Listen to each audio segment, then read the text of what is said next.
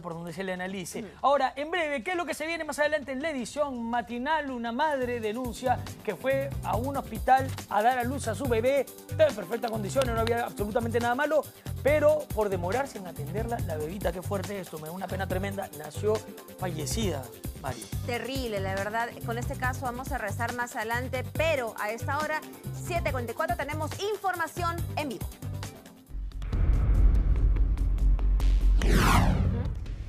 También es sumamente doloroso. En realidad, mira esta imagen, qué triste, ¿no? Muy fuerte. Estamos hablando de, de una madre, de una bebé que lamentablemente eh, apareció cadáver, ¿no? ¿Y qué pasó? O sea, su bebé había nacido el día 15 de junio, para el 19 de junio de dónde está mi hija, y le- dice la madre que le habían dejado en una mesa la bebita, ¿no? Sí. Y que luego apareció en el tacho de basura. ¿Pero Eso es, lo que, así? eso es lo que queremos comprender. Nuestro compañero eh, Luis Sánchez ha llegado a este lugar, tiene el, el testimonio porque de ser así, esto no solamente es grave, es hasta un delito. Bienvenido Luis Sánchez y todas las condolencias para los familiares quienes te acompañan. Julio, Mari, efectivamente, gravísimo, gravísimo lo que hemos podido saber que está pasando, pues, en la maternidad de Lima, pues, encontrar a una recién nacida en el tacho de basura por los propios trabajadores de la maternidad es algo como para no creer. No, yo me encuentro acá con Elizabeth. Ella tuvo a su pequeña prematura, cinco meses y medio. La semana pasada, pues ella dio a luz a la pequeña Dandara, ¿no? Pero, ¿qué es lo que ha pasado? ¿Por qué es que la bebé, pues, fallece y por qué es que no podía encontrar el cadáver? Vamos a iniciar por el momento en que ella viene, la- va a la maternidad, ¿verdad? A dar a luz. ¿Qué es lo que te dicen? Cuando voy a la maternidad me dicen de que yo ya estaba dilatando por el motivo de que eh, es prematuro y ya no podía aguantarlo, no me lo podían retener porque ya se había reventado mi bolsa de la placenta. Eh, mi hija nace el 15 en la noche a las 8 y 32 en el que la llevan de emergencia porque mi hija todavía respiraba. Ahora, algo que tú me comentaste es que tú esperabas un varoncito, no una niña. En, el, en, en la ecografía que yo me hice me dijeron que era hombre, no me dijeron que era mujercita. Pero cuando nació y se la llevaron rápido para que le den los primeros auxilios y todo, vienen y me dicen que mi hija entró a UCI y que era mujercita, no era hombre. Ok, y entonces está en UCI unos días, tiene varios problemas la bebita, ¿verdad? Sí, tenía, le había dado hemorragia cerebral en los dos lados del cerebro, del corazón también no se le había cerrado, este, los pulmones también. El día que ella fallece, en la mañana a mí me dieron informe de que uno de sus pulmones había, se había comprimido y tenían que ponerle el doble de oxígeno para que se volviera normal otra vuelta y con el problema del- de su hemorragia cerebral y el, el- del corazón, ya en, cuando yo me retiré me llaman y ya no, ya no estaba viva. Entonces, tú te diriges, a, regresas, porque tú estabas acá en tu casa cuando te dan la noticia, regresas a la maternidad de Lima y ¿qué es lo que pasa cuando tú pides el cadáver a tu hijita? Eh, regresé el día 20 porque el 19 que falleció me dijeron que venga el día siguiente. Regreso, me dan una hoja de hoja de defunción, el- con un- una hojita en el que mi hija debía una bolsa de sangre. En el trámite de la bolsa de sangre fue que nos demoramos también un poco porque ellos no me querían dejar, no querían que darme a mi hija si no devolvían la bolsa de sangre. ¿Tú sabías que habían utilizado sangre para tu hijita?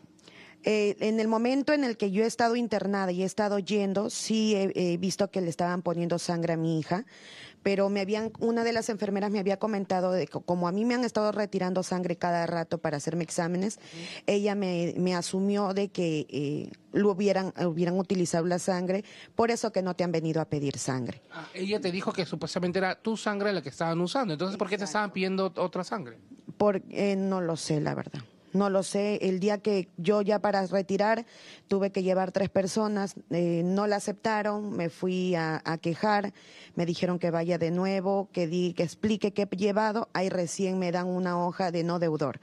Al de hacer los siguientes procedimientos que me restaba de patología y para sacar el alta, me voy a la, a la, a la mor- morgatorio para sacar el cuerpo de mi hija.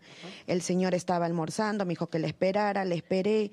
Hicimos el procedimiento de, de rellenar todos los, los documentos de lo que me piden para mi niña.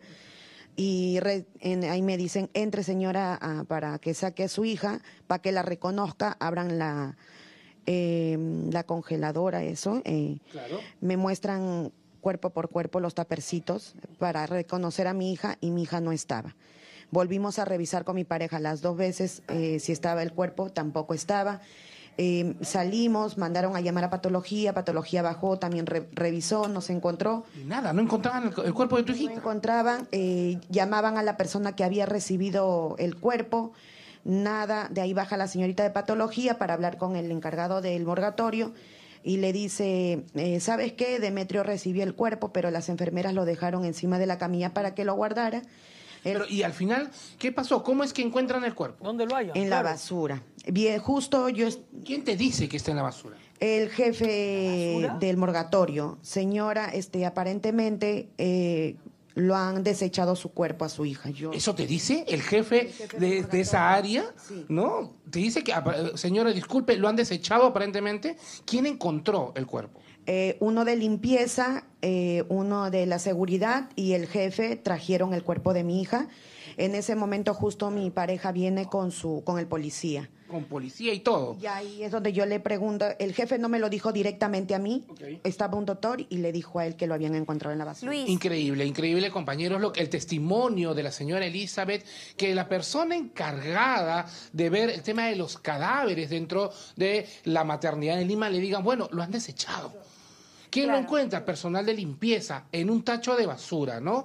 Y lo que ella pues pide es eh, responsabilidad por parte de los trabajadores de la maternidad de Lima porque lo que le ha sucedido a ella, me cuenta, teme que le pueda suceder a otra persona, A ¿no? cualquiera. ¿Cómo es posible que haya tanto descuido A dentro de Luis. la maternidad de Lima, que es lo que señala Elizabeth? Tal cual, le puede pasar a cualquier persona y lo que dice la señora, tú lo, lo mencionas, es increíble. Yo creo que es más que increíble y es algo delictivo, es algo que, que debería tener algún tipo de sanción, porque si para unos padres de familia, imagínate, no es suficiente el dolor de haber perdido, con tanta ilusión nueve meses esperas, ¿no? A tu hijito, a tu hijita, hay mucha ilusión, todo, al final una desgracia no, no nace o finalmente termina perdiendo la vida en el, en el parto.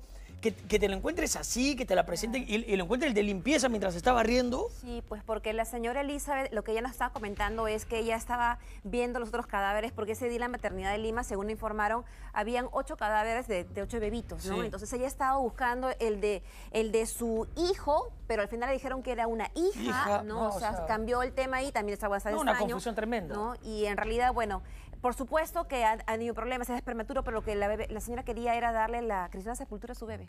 Como tiene que ser. Tiene toda la razón. Esta noticia está en desarrollo. Gracias a la señora. Desde acá todas las condolencias. Un abrazo fraterno para la señora, el esposo. Gracias por escribirnos al WhatsApp de la edición matinal y exhibir este caso para que no vuelva a pasar nunca más en la maternidad de Lima. Ojo. Gracias por escribirnos al WhatsApp, Mari. Acá está al 976-371-776. También si usted tiene un tema, una denuncia, tiene videos,